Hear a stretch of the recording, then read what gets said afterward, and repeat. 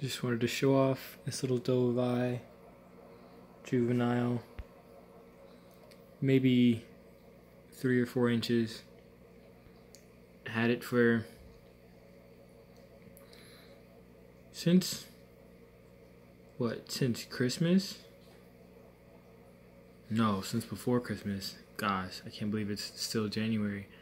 Um, had it for maybe three or four months now. Going pretty quickly. Um, was in a seven gallon cube. Now it's in a 29 gallon tank and it's going to stay here until it outgrows this.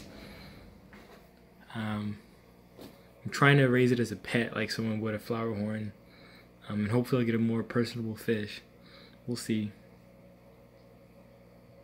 If anyone can tell at this stage in development whether it's a male or a female, please uh, be my guest. I'm all ears.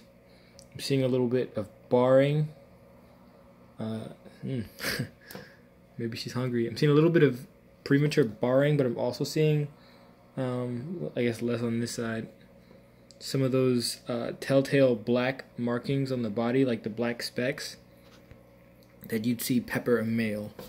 So, let me know if you know. If you don't, that's cool too. I'm more than willing to wait patiently. Yeah, this is my dovii. Thanks for watching. I'll keep you guys updated.